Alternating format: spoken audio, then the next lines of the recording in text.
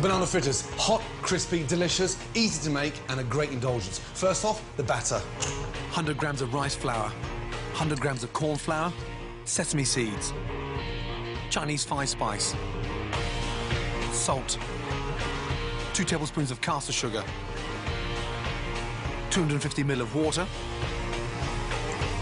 mix until smooth, chill. Pan, vegetable oil, bananas, chop. Coat, Now, to check the oil is hot enough, just drop a little touch into the oil, and that should sizzle.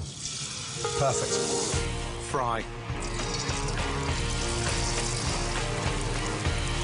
Make sure the fritters are cooked to a nice golden brown, and that crunch of the sesame seed gives it a really nice texture in the batter. Drain.